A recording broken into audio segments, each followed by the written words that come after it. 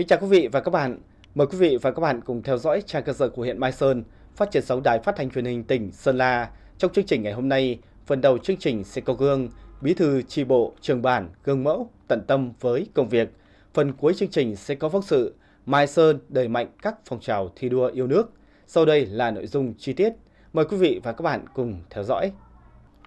Thưa quý vị và các bạn, từng trải qua nhiều vị trí công tác khác nhau, sau khi về nghỉ chế độ, đồng chí Hoàng Trung Thành, bản Cuộm Sơn, xã Trường Mai, huyện Mai Sơn, tiếp tục công tác công hiến, đóng góp cho sự phát triển của địa phương. Với vai trò là bí thư tri bộ, trường bản, đồng chí luôn gương mẫu trong từng lời nói, việc làm và nhiệt tình tận tâm huyết với mọi công việc, được đảng viên và nhân dân địa phương luôn tin tưởng, quý mến.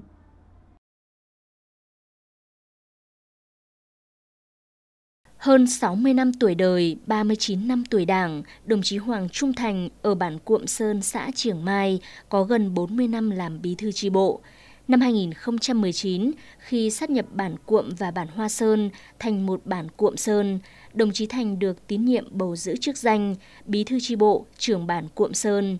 Với vai trò người đứng đầu, đồng chí Thành dành nhiều thời gian để nghiên cứu các chỉ thị, nghị quyết, các văn bản tài liệu liên quan đến công tác đảng, từ đó đưa ra các đường lối chính sách lãnh đạo, chỉ đạo nhân dân trong bản.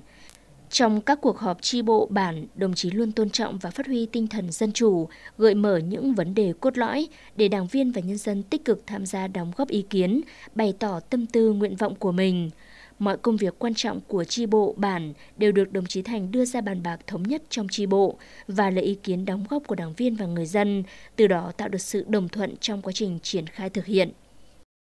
Đồng chí Hoàng Trung Thành là bí thư tri bộ của bản Cụm Sơn. Đồng chí à, luôn là năng nổ, nhiệt tình trong mọi công việc. Đấy. Đặc biệt là cái việc mà đồng chí tiếp thu chỉ thị nghị quyết của Đảng nhà nước ở cấp trên về là à, kịp thời triển khai tới à, mọi đảng viên trong tri bộ đồng tình ủng hộ rồi thì là đặc biệt trong cái việc mà đồng chí à, tổ chức triển khai cái thực hiện 12 chủ trương của ban thường vụ huyện ủy về cái nhiệm vụ phát triển kinh tế xã hội quốc phòng an ninh Đấy, thì là để để xây dựng cái bản Cuộm Sơn trong cái chương trình phát triển xây dựng nông thôn mới ngày một phát triển. Bản Cuộm Sơn có 125 hộ, chủ yếu là đồng bào dân tộc Thái và Kinh. Phát huy vai trò của người đứng đầu, đồng chí Thành cùng chi bộ và ban quản lý bản, lãnh đạo người dân trong bản, thực hiện tốt các chủ trương của Đảng, chính sách pháp luật của nhà nước, tuyên truyền vận động người dân phát triển kinh tế, áp dụng tiến bộ kỹ thuật vào sản xuất, tích cực tham gia phong trào xây dựng nông thôn mới, xây dựng đời sống văn hóa ở khu dân cư. Hiện nay bản gieo trồng 80 hecta cây cà phê, lúa và hoa màu có 20 hộ chăn nuôi gia cầm quy mô trên 100 con, toàn bản có trên 600 con gia súc. Thực hiện chương trình xây dựng nông thôn mới, các hộ dân đã góp tiền, ngày công lao động, vật liệu để làm cổng bản và lắp đặt 90 cột và bóng đèn thắp sáng các tuyến đường nội bản, ngõ xóm. Bản có nhiều khởi sắc, kinh tế ngày càng phát triển, cả bản còn 3 hộ cận nghèo, thu nhập bình quân đầu người đạt 42 triệu đồng trên người một năm với à, tinh thần trách nhiệm là một bí thư, đồng thời cũng là trưởng bản. Cho nên là bản thân ấy là trước hết là phải là gương mẫu, rồi tuyên truyền, vận động nhân dân thực hiện đầy đủ các cái chủ trương à, đường lối của đảng, chính sách à, pháp luật của nhà nước, đồng thời là truyền tải các cái chỉ thị, nghị quyết của đảng, nhà nước đến với mọi người dân kịp thời. Hơn nữa rằng là trong cái quá trình tổ chức thực hiện cái nhiệm vụ của mình ấy là phải là nâng cao cái tinh thần là trách nhiệm gương mẫu thì ờ, ờ, mọi người ờ, các đồng chí cũng như là trong cái bà con nhân dân trong thôn bản thì mới tin tưởng và làm theo mình. Không chỉ gương mẫu và có trách nhiệm trong hoạt động của bản, đồng chí Thành còn đi đầu trong phát triển kinh tế. Hiện gia đình đồng chí trồng một hecta cây cà phê, chăn nuôi lợn bò và trên 200 con gia cầm. Nhờ sự học hỏi chịu khó, kinh tế gia đình đồng chí ngày càng phát triển và cho thu nhập cao noi gương đồng chí các đảng viên trong tri bộ và nhân dân trong bản thi đua lao động sản xuất, tích cực tham gia các hoạt động của bản.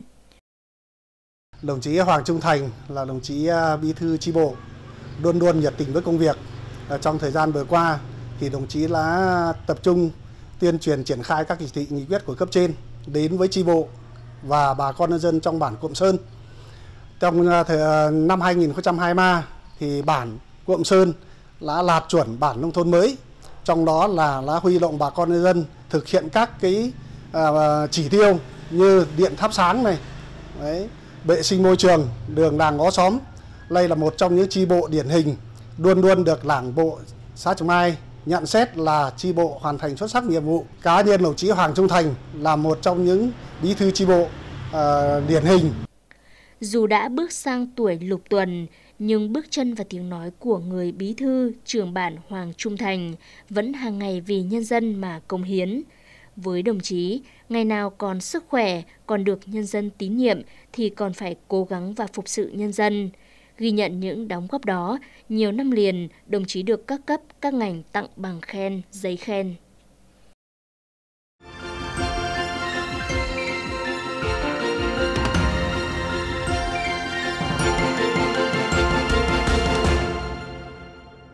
Thưa quý vị và các bạn, thấm nhuần lời dạy của bác, thi đua là yêu nước, yêu nước thì phải thi đua và những người thi đua là những người yêu nước nhất. Đảng bộ, chính quyền và nhân dân các dân tộc huyện Mai Sơn đã cụ thể hóa phong trào thi đua yêu nước ở từng lĩnh vực, tạo động lực thúc đẩy phát triển kinh tế xã hội, xây dựng quê hương ngày càng giàu đẹp. Mời quý vị và các bạn cùng theo dõi qua phóng sự sau đây.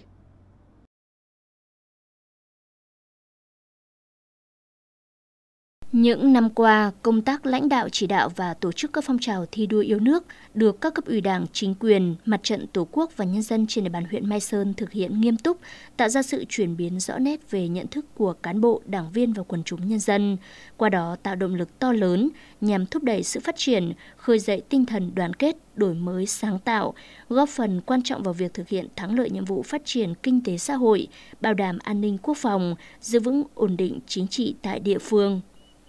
Là một trong những vùng kinh tế trọng điểm của tỉnh, những năm qua, Đảng bộ huyện Mai Sơn đã nỗ lực lãnh đạo nhân dân thực hiện tốt phong trào thi đua phát triển kinh tế trên địa bàn huyện. Tiêu biểu như phong trào nông dân thi đua sản xuất kinh doanh giỏi, đoàn kết giúp nhau làm giàu và giảm nghèo bền vững. Từ phong trào này, nhân dân đã đoàn kết giúp đỡ nhau phát triển kinh tế xóa đói giảm nghèo thông qua nhiều hình thức, qua đó đã huy động được nhiều nguồn lực tạo động lực để phát triển sản xuất, tạo việc làm, chuyển dịch cơ cấu kinh tế, nâng cao đời sống cho người dân. Hiện tổng diện tích gieo trồng của toàn huyện đạt 49.083 hecta, trong đó diện tích trồng cây quả toàn huyện đạt 11.200 hecta, sản lượng quả đạt trên 90.000 tấn quả các loại mỗi năm.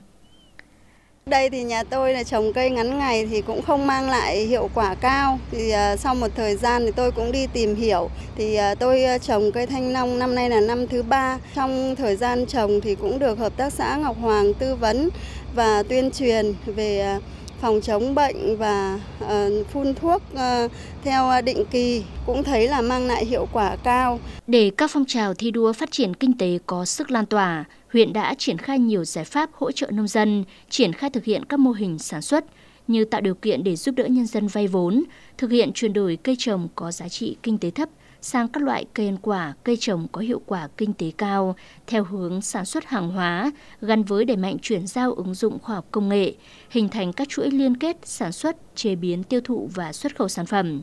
Trong quý 1 năm 2024, sản lượng tiêu thụ quả tươi của huyện đạt gần 6.700 tấn quả các loại, giá trị ước đạt khoảng 487 tỷ đồng. Từ đầu năm ờ, chúng tôi cũng đã mở các lớp tập huấn cũng như là hướng dẫn cho ờ, các thành viên trồng và phát triển thanh long. Thì ờ, năm 2023 thì cũng rất là may mắn cho hợp tác xã là cũng ký được rất nhiều đơn hàng. Đối với à, Pháp, Hà Lan, Italia, thân hợp tác xã là cũng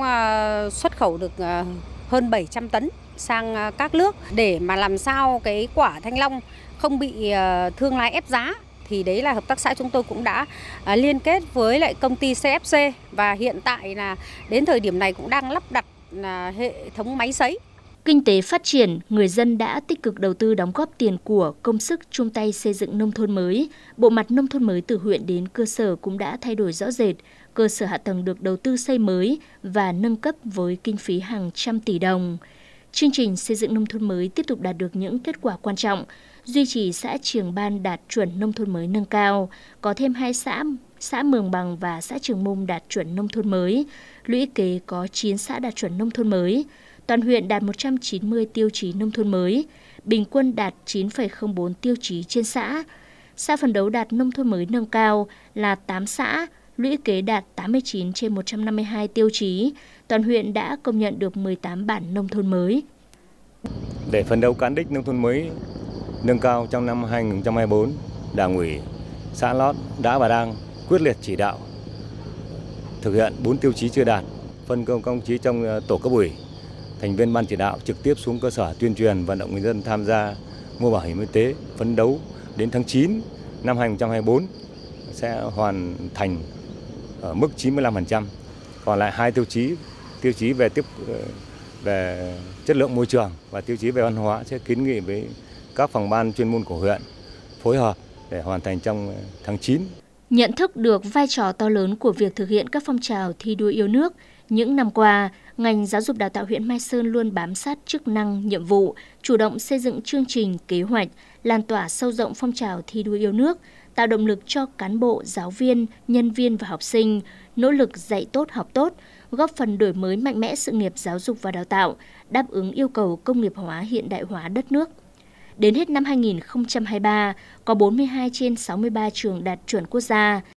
Kết quả các cuộc thi có nhiều thành tích nổi bật, tỷ lệ học sinh đỗ tốt nghiệp trung học phổ thông năm 2023 đạt tỷ lệ 99,68%.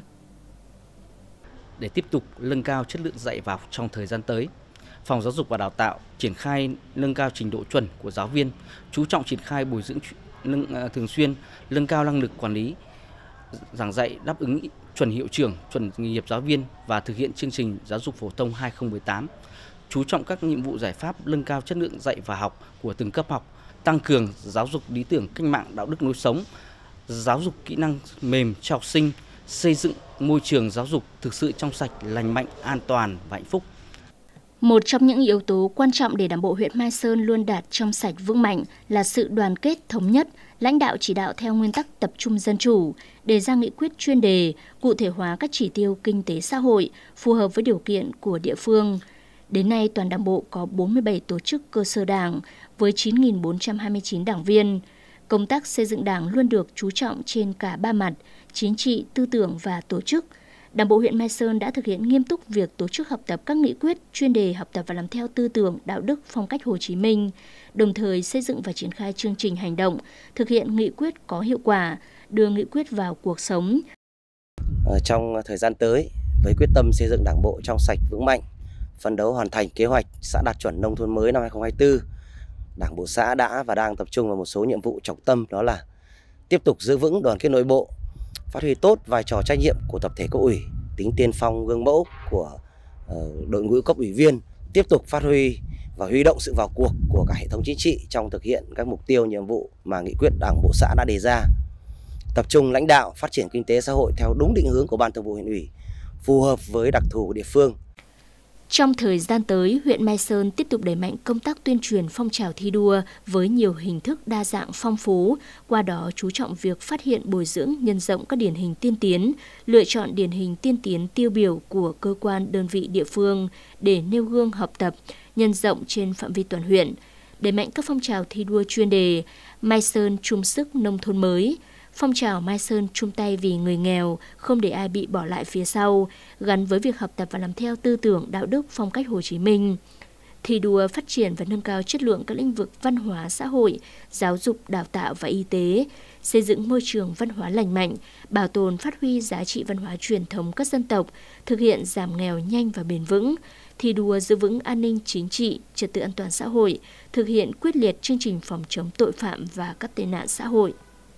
Những kết quả của phong trào thi đua yêu nước ở huyện Mai Sơn trong những năm qua đã củng cố niềm tin, khẳng định ý chí quyết tâm của Đảng bộ và nhân dân trong huyện, bước tiếp chặng đường mới với quyết tâm giành nhiều thắng lợi mới, đồng thời là động lực quan trọng để phong trào thi đua yêu nước trên địa bàn huyện tiếp tục lan tỏa sâu rộng, đóng góp tích cực vào sự phát triển kinh tế xã hội của địa phương, góp phần hiện thực hóa mục tiêu xây dựng huyện Mai Sơn phát triển xanh, nhanh và bền vững. Trang cơ sở của huyện Mai Sơn hôm nay xin được kết thúc tại đây. Cảm ơn quý vị và các bạn đã dành thời gian theo dõi. Xin kính chào tạm biệt và hẹn gặp lại trong các trang cơ sở lần sau.